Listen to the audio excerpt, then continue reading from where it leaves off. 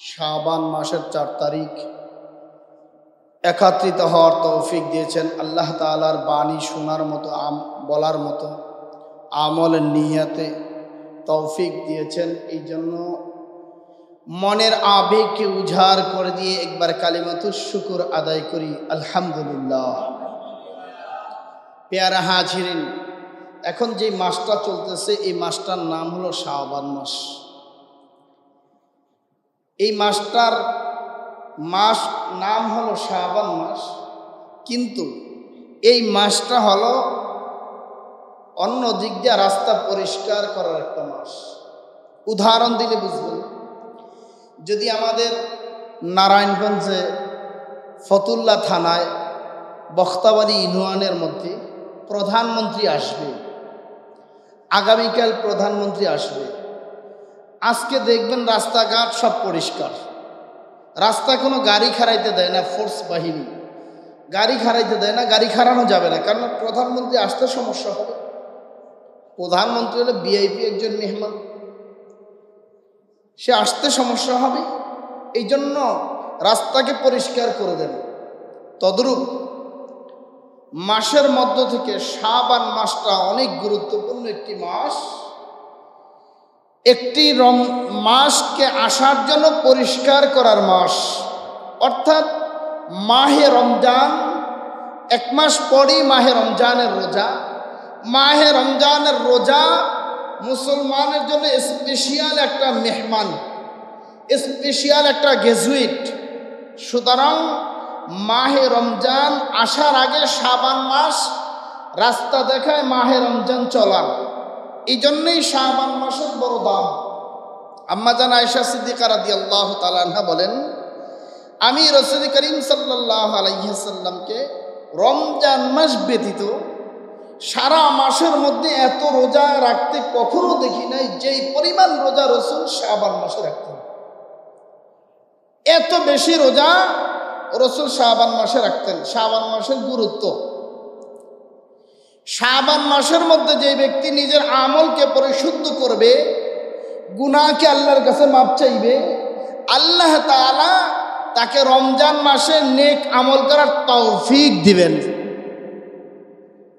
সুতরাং শাবান মাসের বড় দাম। এই শাবান মাসের মধ্যে একটি রাত্র আছে, সেই রাত্রর দাম আল্লাহ তালার কাছে অনেক বেশি। আল্লাহ তাবারকা তাআলার কাছে পাঁচটি রাত্রের দাম অনেক বেশি। শাবান মাসের পনেরোতম রাত্রি, সবে কদরের রাত্রি এবং দুই ঈদের রাত্রি, আরাফার রাত্রি। এই রাত্রগুলি আল্লাহ তালার কাছে বড় দামি রাত্রি। তার মধ্য থেকে শাহবান মাসের রাত্রির দাম আল্লাহর কাছে অনেক বেশি। অর্থাৎ যাকে আমরা শাহবান মাসের রাত্রিকে সবে বরাত হিসাবে চিনি। আমি সবে বরাত হিসাবে চিনি, এই কথাটা পড়ে এনেছি। কেন? আগে বলেছি শাহবান মাসের পনেরোতম রাত্রি। কারণ কি? কারণ হলো, বর্তমান ফেতনার জমানায় বহু মানুষ শাবান মাসের পনেরোতম রাত্রিকে যে সবে বরাত বলা হয়, এটাকে মানতে চান না। সেজন্য আমি ওই তাদের কথাকে, তাদের মতকে নিরসন করার জন্য আপনাদের সম্মুখে শাহবান মাসের পনেরোতম রাত্রি প্রদানছি আম্মা জানাই সিদ্দিকা রাদি আল্লাহ আনহা বলেন আল্লাহ নবী সাল্লাহ আলাইসাল্লাম একদিন আমার কাছে আসলো, বলল আইসা বলল হালতার হালতা দারানি তুমি কি জানো এই রাত লাইলাতিন, এই রাত্রটা কিসের? ইয়ানি লাইলাতিন নিসমিন শাহবান। লাইলাতুল নিসমিন শাহবান অর্থাৎ শাহবান মাসের পনেরোতম রাত্রিতে কি হয় তুমি জানো? আম্মা জানাইশা উত্তর দিলেন, ইয়া রাসুল্লাহ মা ফিহা। কি হয় শাবান মাসের পনেরোতম রাত্রিতে? আল্লাহ নবী সাল্লাম বলেন, শাবান মাসের পনেরোতম রাত্রিতে আল্লাহ তালা চারটা কাজ করেন। এক নাম্বার, কুল্লু মাউলুদিন মিমবানি আদামা ফিহাদি সানা। শাবান মাসের পনেরোতম রাত্রি অর্থাৎ সবে বরাতের রাত্রির মধ্যে আল্লাহ রব্বুল প্রত্যেকটা বনি আদমের সন্তান এই বছরের মধ্যে কে কখন জন্মগ্রহণ করবে আর সে আজিমের মধ্যে আল্লাহ তারা লিপিবদ্ধ করে রাখেন। দুই নাম্বার কাজ অকুল্লু হালাকিন মিনবানি আদম। কোন কোন মানুষটা এই বছরের মধ্যে মৃত্যুবরণ করবে? সেই কথাটাও আল্লাহ তাআলা শাবান মাসের পনেরোতম রাত্রি আর সাজিমেলে রেখে রাখেন। তিন নাম্বার কাজ প্রত্যেকটা ব্যক্তির আমলকে আল্লাহ তাআলার কাছে আরশে আজিমে শাবান মাসের পনেরোতম রাত্রি, অর্থাৎ শবে বরাতের রাত্রিতে উঠানো হয়। চার নাম্বার আল্লাহ নবী সাল্লাল্লাহু আলাইহি ওয়াসাল্লাম বলেন, অতুনজালু আরসাকাহুম তোমাদের যে রিজিক দান করা হয়, এই রিজিক আল্লাহ তাআলা শাবান মাসের পনেরোতম রাত্রিতে, অর্থাৎ সবে বরাতের রাত্রিতে আল্লাহ তাআলা তোমাদেরকে রিজিক দান করে। এখন আসেন, এই শাবান মাসের রাত্রিকে বলা হয় সবে বরাত। কিন্তু আমাদের দেশের মধ্যে একদল মানুষ আছে, তারা সবে বরাতকে মানতে চায় না। এখানে দুইটা বিষয় লক্ষ্য করবেন। সবে বরাতকে নিয়ে যেমন সারাসারি আছে, তেমন বাড়াবাড়ি আছে। শরিয়াত সারাসারিকেও পছন্দ করে না, বাড়াবাড়িকেও পছন্দ করে না। শরিয়াত পছন্দ করে শরিয়াতের গণ্ডিকে। সারাসারি কি? একদল দেখবেন সবে বরাতকেও অস্বীকার করে ডাইরেক্ট। তথাকথিত আহলে হাদিস গোষ্ঠী একদল আছে, দেখবেন। শাহবান মাস আসলে তারা রিপ্লেট বিলায়। গ্রামে নাই, কারণ গ্রামে ওই পরিমাণ নাই। শহরে দেখবেন এরকম রিপ্লেট বিলায়। কি? শাহবান অর্থাৎ সবে বরাত বলতে কিছু নাই, এটা মানা যাবে না। আমি প্রথম তাদের কথাগুলি উদ্ধৃতি দিই। সবে বরাত শব্দের অর্থ কি? সবে বরাত এটা ফার্সি শব্দ। সব মানে রাত্র বারাত মানে বরকত। অর্থাৎ বরকতের রাত্র। অতএব সবে বরাতের অর্থ হলো বরকতের রাত্র, মুক্তির রাত্র, নাজাতের রাত্র। সবে বরাতের অর্থ। এখন অনেকে বলে, সবে বরাত তো হাদিসে নাই। আমিও বলি, ঠিক আছে, সবে বরাত হাদিসে নাই। সবে বরাত হাদিসে কোথার থেকে আসবে? কথা বুঝবেন, সবে বরাত হলো ফার্সি শব্দ। আর আরবি শব্দ, হাদিসের মধ্যে যত শব্দ আছে সব আরবি শব্দ। অত বুঝতে হবে, ফার্সি শব্দ কখনো হাদিসের মধ্যে আসবে না। তাহলে কি হবে? হাদিসের মধ্যে কি আসছে? হাদিসের মধ্যে লাইলাত মিন অর্থাৎ শাবান মাসের পনেরোতম রাত্রি শাবান মাসের পনেরোতম রাত্রিতে আল্লাহ তালা বরকত নাজিল করেন, সাকিনা নাজিল করেন, বান্দার গুণা মাফ করেন। সেই জন্য ওলামাই কেরাম বরকতের রাত্র হিসাবে ফার্সিতে এটাকে নাম দিয়েছে সবে বরাত অতএব বুঝতে হবে, সবে বরাতকে অস্বীকার করার কোনো সুযোগ নাই। সবে বরাত অর্থ কি? সবে বরাত অর্থ বরকতের রাত্র, নাজাতের রাত্র, সব মানে রাত্র, বারাত মানে বরকত, বারাত মানে মুক্তি, বারাত মানি নাজাত। এই জন্য সবে বরাতকে সবে বরাত বলা হয় কেন? সবে বরাতের মধ্যে অসংখ্য মানুষকে আল্লাহ তালা মুক্তি দেয়। আম্মা জানা এসা সিদ্দিকা রাদিয়াল্লাহু তাআলা আনহা একদিন বলেন, আমি রসুল সাল্লাহ সাল্লাম আমার ঘরে আসছেন, কিছুক্ষণ পর রসুলকে আমি পাই না। ফা খরচ তো আমি রসুলের পিছনে পিছনে বের হলাম। ফাইদা কিছুক্ষণ পর আমি দেখি রসুল কি করেন? রসুল করিম সাল্লাহ সাল্লাম বিল বাকি, জান্নাতুল বাকিতে। আমি দৌড়ে চলে আসলাম। রসুল পিছন থেকে আমার কাছে আসলো। আমি হাফায় গেলাম। আমার হাফানির দিকে রসুল বলেন, তুমি হাফাইছো কেন? তুমি কি মনে করছ যে আল্লাহ এবং আল্লাহ রসুল তোমার উপরে কি করছে? অবিচার করবে? ইনকুন্দা তাক তাফি না তুমি কি মনে করছ যে আল্লাহ আল্লাহ রসুল তোমার উপর অবিচার করবে? না। আম্মা জান আয়সা বলেন, ইয়া রসুল আল্লাহ জনন্তু আমি ধারণা করছি। কি? আপনি আমার অন্য সাথী, আপনার অন্য স্ত্রী ঘরে গিয়েছেন সেই সন্দেহ আপনাকে আমি করেছি। করে আপনার পিছে পিছনে আমি গিয়েছি। রসুল বলেন, না, আমি তোমার রাত্রকে অন্য জায়গায় দিতে যাই নাই। যাব না। আল্লাহ এবং আল্লাহ রসুল তোমার জুলুম করবে না। তাহলে কি? এবার রসুল বলেন, আজকে রাত্র কি জানো? কি রাত্র? আজকে রাত্র মিন শাহবান অর্থাৎ শাহবান মাসের পূর্ণতম রাত্র। আচ্ছা কি হয়? আল্লাহ নবী তিনটা কথা বলেছেন। এক নাম্বার কথা, শাবান মাসের প্রথম রাত্রিতে আল্লাহ তালা তার খাস রহমাত নেয়া প্রথম আসমানে আসেন। দুই নাম্বার কথা, আল্লাহ পাক রব্বুল আলমিন বনু কালবের গোত্রের মধ্যে যত বকরি ছিল আরব দেশের মধ্যে বনু কালবের গোত্রের মধ্যে বকরি পালত, বকরি লালন পালন করা হতো, বেশি বকরি লালন পালন করা হতো। আল্লাহ নবী সাল্লাম বলেন, বনু কালবের গোত্রের মধ্যে যত বকরি আছে, ওই বকরিতে যত পশম আছে, তত পশম সম পরিমাণ মানুষকে আল্লাহ তালা এই রাত্রে নাজাদ দিয়ে দেন। এই পরিমাণ মানুষকে আল্লাহ নাজাদ দেন। এই হাদিসের দৃষ্টিকোণ থেকে মহাদ্দেশনে গ্রামে এই রাত্রকে সবে বরাত নাম দিয়েছেন। অতএব বুঝতে হবে, যারা সবে বরাতকে হাদিসে নাই এই ভাষা দিয়ে মানুষকে সবে বরাত থেকে দূরে রাখে, বুঝতে হবে তাদের উদ্দেশ্য খারাপ। সহি হাদিসের নাম দিয়া নিজেদের উদ্দেশ্যকে খারাপ করেন।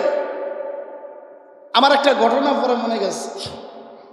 আজ থেকে অনেক বছর আগে, দুই হাজার পনেরো সালের কথা। আমি তখন ঢাকা খিলগাঁও এক মসজিদে ইমামতি করি। তীরমোহনী এলাকার পাশে। ওই তীরমোহনী এলাকাটা হইলে আহলাদিসের মূল গোড়া। তা আমার পিছনে নামাজ পড়তো, অনেক মসজিদে আহলাদিসের। একটা যুবক নামাজ পড়তো। এই যুবকটা কি করত? বিতরের নামাজে এক রেখাত পড়তো শুনে দেখবেন, এক রেখাত যখন পড়তো মুসলিমরা বারবার আমাকে বলতেছে, হুজুর এই ছেলেটা বিতরি নামাজে এক রেখাত পরে কারণটা কি? তা আমি বলি, কারণ কি? সেটা তার কাছে জিজ্ঞেস করেন। এক পর্যায়ে এক মুসল্লি, খোকন নাম তার, সে খুব খেপে গেছে, তাকে মারবে। আমি বলছি মারা দরকার নাই, তাকে আমার রুমে নিয়ে আইসেন। একদিন রাত্রে তাকে আমার রুমে ডাকছে। আমি বললাম, ভাই, কি ব্যাপার? আপনি বলে এক রেখাত বিতির নামাজ পড়েন, এক সালামে? কাহা করতে কয়, হাদিস আইছে। কি কি আইছে ভাই হাদিসে? কোন হাদিসে আপনি বলেন? বুখারি, মুসলিম সব হাদিস আমি মাসা আল্লাহ তাহলে আপনার বুখারি, মুসলিম একটু আমার দ্বারা নিয়ে আসেন। কর ঠিক আছে, কালকে আপনাকে দলিল দিন তো হেয়ার পর দিন এসারের পর দলিল দেওয়ার জন্য সে আসছে আমার কাছে। এরকম চারটা চটি বই নিয়ে আসছে আহলে হাদিসের লেখা। শিখার জন্য বলছি, কাউকে কটক্ষ করার জন্য আপনারাও শিখে রাখেন, কাজে লাগবে। যখন বই নিয়ে আসছে সে দেখাচ্ছে হাদিসের যে এই এই হাদিস। তখন আমি দেখি যে হাদিসগুলি আনছে, তিরমিজি শরীফের একটা হাদিস আসছে, মুসলিম শরীফের একটা হাদিস আছে যে হাদিসের মধ্যে বর্ণনা হলে এইভাবে যে রসুল করিম সাল্লাহ সাল্লাম রাতের নামাজ ছিল আট রাকাত, বারো রাকাত, সাথে এক রাকাত। এইভাবে ছিল রসুলের নামাজ। ওই তারা ধারণা করতেছে, রসুলের নামাজ যে ওই এগারো রাগাত মানে দশ রাগাতের সাথে এগারো রাগাত ছিল, এইটি আলাদা এক রাগাত নামাজ। তো তাকে বললাম, কই ভাই, রসুল এক সালামে এক রাগাত নামাজ পড়ছে, আমাকে দেখান। এখন সে বলতেছে, কই, নাই এনে আমাকে নাই? কয়েকবার দেখাচ্ছি আপনাকে? সে কি, আমি তো জানি না তার কাছে যে আব্দুর রাজাক বিন ইউসুফের নাম্বার আছে। সে সরাসরি আব্দুর রাজাক বিন ইউসুফের ফোন দিস ইউসুফ সাহেবের ফোন দিস বদিয়াকা শাহেক কি? দেখেন, প্রত্যেকটা মোল্লা আইসে আমার সামনেই, আমি আজব। তখন তো আমার এলেমের দূরত্ব বেশি, কারণ ইফতা পড়ছি মাত্র। দাওয়ারা শেষ করে ইফতা পড়ছি তখন তো এলেমের গর্জনটা অন্য, অন্যরকম থাকে। ধীরে ধীরে ধীরে ধীরে আস্তে আস্তে কমে। তখন যখন বলতেছে কে কীছে কয়, দেখেন, সে বলতেছে কি এর বিত্রি নামাজ বলে তিন রাখাত এক রাখাত না। তখন দেখলাম ফোনের মধ্যে আব্দুর রাজাকে নিশ্চয় খুব রাগ হয়ে গেল। রাগ হওয়ার পরে আমি কেন তো ফোনটা আমার কাছে একটু দেন আমাকে ফোন দিল। আমি সালাম দিলাম। সালাম দিয়ে আমার পরিচয় দিলাম। আমি মাহমুদুল হাসান, দাওরা শেষ করছি দারুল উলুম হাটাজারি থেকে আর ইফতা করছি ঢাকা দারুল উলুম থেকে। তো হজরত আপনার কাছে আমার একটা প্রশ্ন, কি? রসুল সাল্লামের জীবদ্দশায় এক সালামে এক রাগাত নামাজ রসুল কখন, কবে পড়ছেন সেই উত্তরটা একটু আমাকে দেন। বুঝবেন, কথা মাসালা এসে পড়ছে, এই জন্য মাসালা বলতেছি, যারা এক রেখাত পরে ভীতির তাদেরকে জিজ্ঞেস করবেন রসুল এক সালামে এক রাগাত জীবনে কোন দিন নামাজ পড়ছে? হাদিসের যত কিতাব আছে, কোথাও খুঁজে পাবেন না। রসুল এক রাগাত নামাজ এক সালামে পড়ছে। আচ্ছা আমি যখন শাহেককে বললাম, শাহেক, আমি তো ছোট মানুষ, আমার এলিম কালাম কম, আমি আপনার কাছে একটু জানতে চাই। রসুল তার জীবনে এক সালামে এক রাগাত নামাজ পড়ছে, এই হাদিসটা একটু আমাকে দেন। সে বলেন, আছে হাদিস, আমি কি হাদিস নাম্বারটা দেন? বলে, আছে। আমি কি আপনি আছে বললাম নাম্বারটা দেন। কিছুক্ষণ পর কেটে দিছি। কেটে দিয়ে ওই ছেলেরা ফোন দিছে, এটার দাঁড়তে তুই সরে যা, এরা দলিল মানে না। এই হলো হালত। অতএব আমি বলার উদ্দেশ্য হলো, সবে বরাত নিয়ে দেখবেন অনেকে বলে যে, সবে বরাত হাদিসে নাই, সবে বরাত মানা যাবে না। বন্ধু, তোমাকে আমি বোঝার জন্য বলছি, সবে বরাত হাদিসে নাই, আমিও মানি। হাদিস আছে, লাইলাতুন নিসফি মিন শাবান শাবানের পনেরোতম রাত্রেও। অসংখ্য হাদিস আছে, চৌচল্লিশটা হাদিস আমার কাছে আছে। আমার দলিল সহ, রাবি, সহি হাদিস, সনদ সহ চৌচল্লিশটা হাদিস আছে সবে বরাতের ফজিলত নিয়ে। এই সবে বরাতের ফজিলতের দিকে লক্ষ্য করেই ওলামা ইকরাম সবে বরাতকে সবে বরাত নাম রেখেছেন। জলিলে কদর সাহাবিদের মধ্যে দশজন সাহাবি সবে বরাতকে সাব্যস্ত করেছেন। একজন সাহাবি হলো হজরত আবু বকর সিদ্দিক রাদি আল্লাহ তাআলা আনহু আর একজন সাহাবি হলো হজরত আলী রাদি আল্লাহ তাআলা আনহু আর একজন সাহাবি হলো আম্মাজান আয়েশা সিদ্দিকা রাদি আল্লাহ তাআলা আনহা আর একজন সাহাবি হলো মুআজ ইবনে জাবাল রাদি আল্লাহ তাআলা আনহু আর একজন সাহাবি হলো আবু হুরায়রা রাদি আল্লাহ তাআলা আনহু আর একজন সাহাবি হলো আউফ ইবনে মালিক রাদি আল্লাহ তাআলা আনহু আর একজন সাহাবি হলো আবু মুসা আশারি রাদি আল্লাহ তাআলা আনহু আর একজন সাহাবি হলো আব্দুল্লাহ ইবনে আব্দুল্লাহ ইবনে ওমর ইবনে আব্দুল্লাহ আনস রাদিয়াল্লাহু তাআলা আনহু। আর একজন সাহাবী হলো আবু সালাবা খুশানি রাদিয়াল্লাহু তাআলা আনহু। আর একজন সাহাবী হলো উসমান ইবনে আবুল আস রাদিয়াল্লাহু তাআলা আনহু। এই দশজন নির্ভরযোগ্য সাহাবী, ধারা বর্ণিত দশজন নির্ভরযোগ্য সাহাবী সববরাতকে সাব্যস্ত করেছেন। সববরাত বরকতময় রাত্র সববরাত মুক্তির রাত্র সববরাত আল্লাহ তালা অসংখ্য মানুষকে মুক্তি দেন, সবে বরাতের মধ্যে অসংখ্য রিজিক আল্লাহ তালা দুনিয়াতে দেন, সবে বরাতের মধ্যে রিজিকের ফয়সলা হয়, মৃত্যুর ফয়সলা হয়, সবে বরাতের মধ্যে আল্লাহ তালা দুনিয়াতে সন্তান জন্মগ্রহণের ফয়সলা করেন। এখানে আপনাদেরকে বলি এই হাদিসটার ব্যাখ্যা। ওলামা ইকরাম এই হাদিসটা দুইটা ব্যাখ্যা করেন। যে সবে কদর সবে বরাত। সবে কদরে মূলত কোরআন নাজিল হয়েছে। কোরআনের ফয়সালাগুলি হয়েছে। এটা ঠিক আছে। মহাদ্দেসন একরাম সুরাই দুখানের দুই নম্বর আয়াত, ইন্না আনসাল্লাউফি লাইলাতি মুবারকা। এই আয়াতের ব্যাখ্যা করেন মহাদ্দেসন একরাম যে সবে কদর আর সবে বরাতের ব্যাখ্যায়, সবে বরাতে আল্লাহ তালা আরশে আজিমের সিদ্ধান্ত নেন। এরপরে প্রথম আসমানে দেন সবে কদরে সবে কদরে প্রথম আসমান দিলে ওখানে আস্তে আস্তে আস্তে আস্তে দুনিয়ার মধ্যে সরিয়ে যান। অতএব সবে বরাতের মধ্যে আর সবে কদরের মধ্যে কোনো দ্বিধাদ্বন্দ্ব নাই।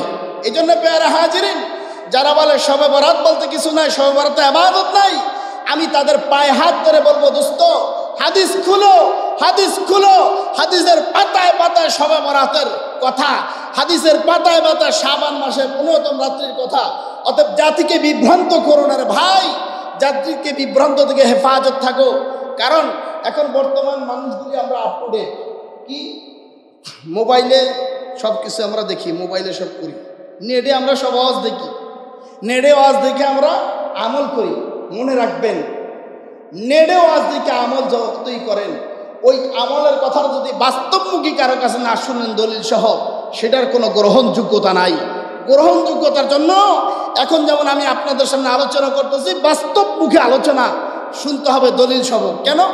নেড়ে যে আওয়াজ করে, তাকে তো আপনি দেখবেন না, তাকে জিজ্ঞেস করতে পারবেন না। আমাকে তো আপনি একটা কথা ভুল হলে কিছুক্ষণ পরে জিজ্ঞেস করতে পারবেন, দলিল নিতে পারবেন। এই জন্য আমি সকলকে আকুল আবেদন করব, সবে বরাত নিয়ে দ্বিধাদ্বন্দ্ব বাদ দিয়ে আল্লাহর দিকে রুজু হয়ে যায় আল্লাহ তালা গুনা মাফ করবেন সবে বরাতের রাত্রে। আল্লাহ তালা শাহবান মাসকে বরকত দিয়েছেন সবে রাত্রে উসিরা করে। এই জন্য পেয়ারা হাজিরিন, আমরা সেই দিকে যাব না, যারা বলে সহবরাত নাই, আমরা তাদের কথা মানবো না। কি বলেন, ঠিক কিনা? আরেকটা সমস্যা আছে। সহবরাত নিয়ে বাড়াবাড়ি আছে। বাড়াবাড়ি কেমন? দেখবেন সহবরাত আসলে ফুটকা ফোড়ায়, চতুর্দিকে কি যে আলোড়ন সৃষ্টি করে। আবার অনেক জায়গায় মসজিদ আলোকিত করে, মসজিদে বাতি দেন। না না না, এটা করা নিষেধ। রসুল এটাও করেন নাই। এটা বেশি বাড়াবাড়ি। এটি বেশি হয়, দেখবেন, তথাকথিত সুন্নি যারা অনেক জায়গায় আছেন, আমাদের এলাকায় নাই, অনেক জায়গায় দেখবেন মসজিদ আলোকিত করে ফেলে। মসজিদ আলোকিত করে, মসজিদের গেট আলোকিত করে, রাস্তা আলোকিত করে। কেন? রসুল আপনাকে এটা কবে করতে বলছেন? এবার আসুন তাহলে রসুল কি বলছেন? আম্মা জানা ঈশা সিদ্দিকার রাদি আল্লাহ তাআলা বলেন, আল্লাহর নবী সাল্লাল্লাহু আলাইহি আমার ঘরের মধ্যে আসলো। ঘরের মধ্যে আইসা জামা কাপড় খুললো, আবার জামা পরে ফেলল। জামা পরার পরে আল্লাহর নবী সাল্লাল্লাহু আলাইহি সাল্লাম চলে গেল। কিছুক্ষণ পর আমি নবীর পিছনে পিছনে গেলাম। আমি গেলাম আর দেখলাম আল্লাহর নবী কোথায় আছেন? আম্মা জানা ঈশা বলেন, আমি গিয়ে দেখি আল্লাহর নবী জান্নাতুল বাকিতে আল্লাহর নবী জান্নাতুল বাকিতে শোয়া, জান্নাতুল বাকিতে যে কান্দে, ইয়া হাবলি উম্মতি,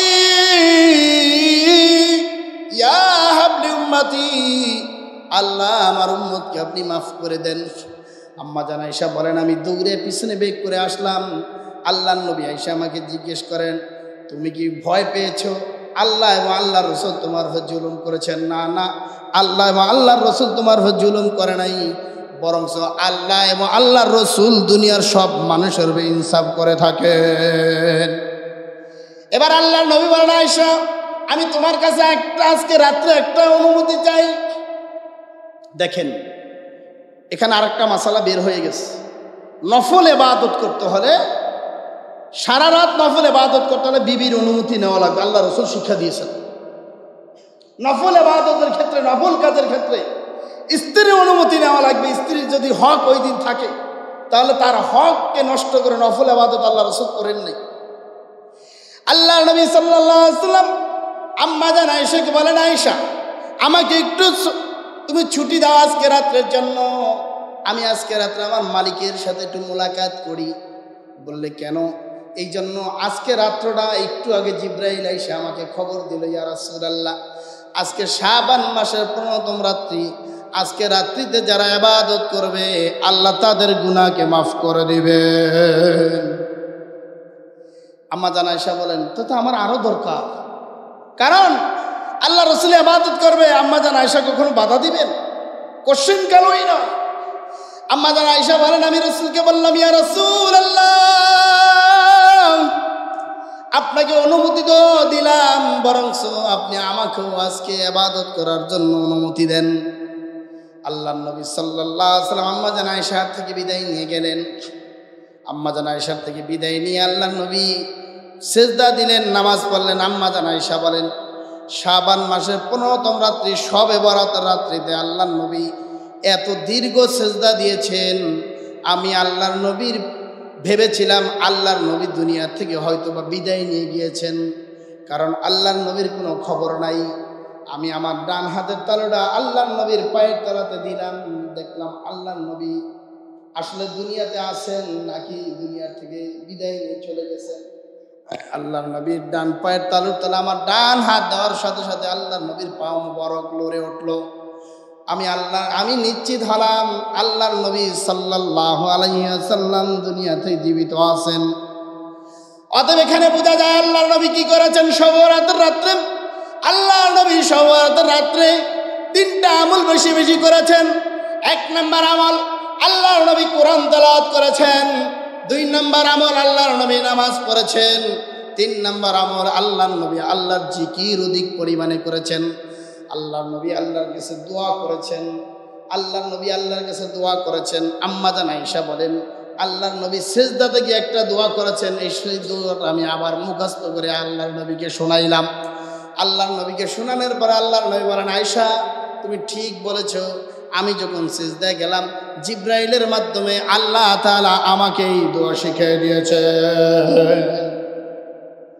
দোয়ার বাংলা অর্থ হলো, আয় আল্লাহ, তুমি আমার সামনে নূর দিয়ে ভরপুর করে দাও। আয় আল্লাহ, তুমি আমার পিছনে নূর দিয়ে ভরপুর করে দাও। আয় আল্লাহ, তুমি আমার ডানে নূর দিয়ে ভরপুর করে দাও। আয় আল্লাহ, তুমি আমার বামে নূর দিয়ে ভরপুর করে দাও। আল্লাহ, তুমি আমার চতুর্দিক দিয়া নূরে নূরান্বিত করে দেও। অতএব আমরা বুঝলাম, সব বরাতের রাত্রিতে করণীয় হলো কোরআন পড়া, করণীয় হলো তাসবি পড়া, করণীয় হলো নামাজ পড়া। সবে বরাতে ঘোরার রাত্রি নয়, সবে বরাতে আনন্দ করার রাত্রি নয়, মসজিদ সাজানোর রাত্রি নয়। এই জন্য আমি বললাম ভাই দোস্তম, সবে বরাতকে অস্বীকার করা যাবে না। আবার সবে বরাতকে একেবারে বেশি বাড়াবাড়িও করা যাবে না। সবে বরাতকে কেন্দ্র করে বাড়িকে সাজানো যাবে না। সবে বরাতকে কেন্দ্র করে মসজিদকে সাজানো যাবে না। সবে বরাতকে কেন্দ্র করে এমন কিছু করা যাবে না যেটা ইসলামে নাই। এই জন্য সবরাতকে ছাড়াও যাবে না। সবরাতের জন্য বাড়াবাড়িও করা যাবে না। এই জন্য আমি বলব, আজ থেকে আমরা ওয়াদা করব সবরাতের দিন রাত্রে সবরাতের রাত্রে আল্লাহর আবাদত ছাড়া অন্য কিছু আল্লাহ তাআলা আমাদেরকে সবরাত সামনে আসতেছে সব রাত রাত্রিতে এবাদত করার তৌফিক দান করে সকলে বলে, আমিন।